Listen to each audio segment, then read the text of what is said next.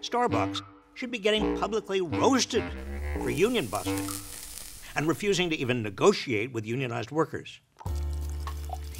You see, if there's one thing I love more than coffee, it's unions, because unions perk up pay. And if there's one thing I hate more than corporations who try to bust unions, it's having to make my own coffee every morning. Now, I may be known for a lot of things, but making a good cup of coffee isn't one of them. I was thrilled to hear about workers in Starbucks stores across the country exercising their right to unionize. A cup of solidarity brewed by a union barista? What could be better than that? Definitely not me being my own barista. Starbucks is a multi billion dollar company. Its new CEO will start with a pay package estimated to be worth over $28 million.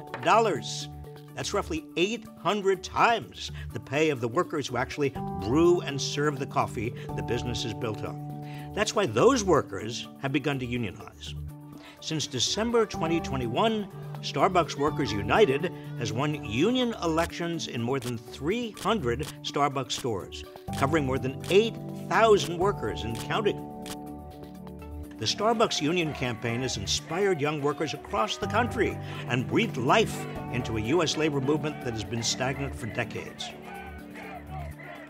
To bust the union, Starbucks briefly brought in its former CEO, billionaire Howard Schultz, and still refuses to even sit down at the bargaining table. That's why I've been boycotting Starbucks.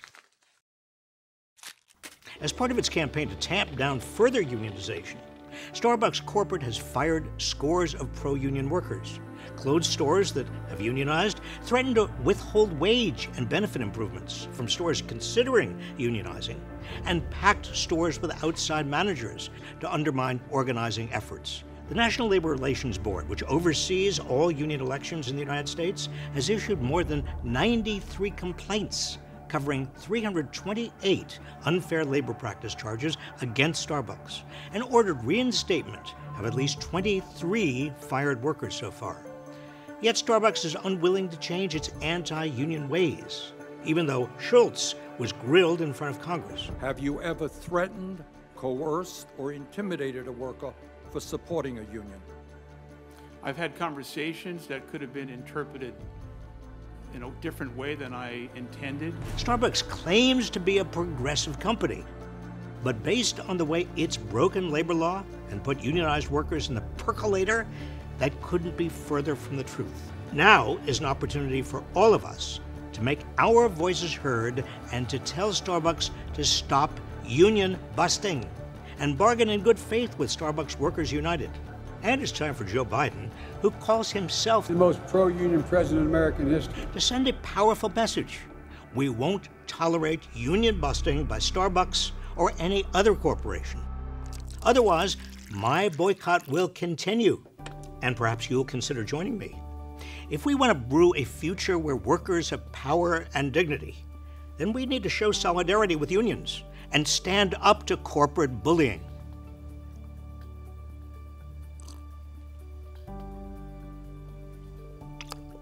I've got to get better at making this.